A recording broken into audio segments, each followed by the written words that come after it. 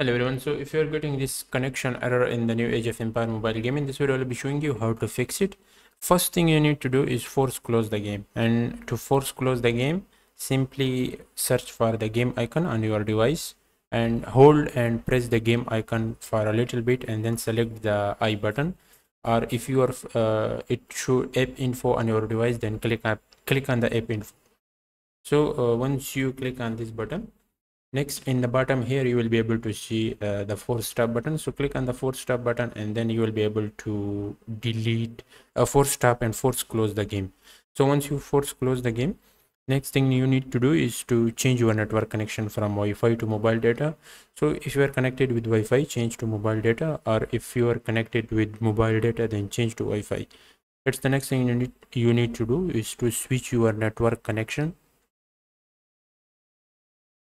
next thing is to uh, turn on and off the flight mode. So uh, turn on the flight mode for uh, some time like 10 to 15 seconds. Once you turn on the uh, flight mode then wait for 10 to 15 seconds and then turn off it uh, back. And then uh, connect with, you, with your network connection and start the game. So it's some of the best method that work for a lot of people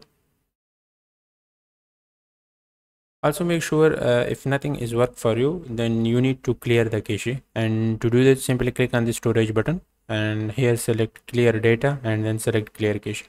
But before doing this step make sure that you link your account otherwise you will be lost and uh, all your progress will be wiped out from your game.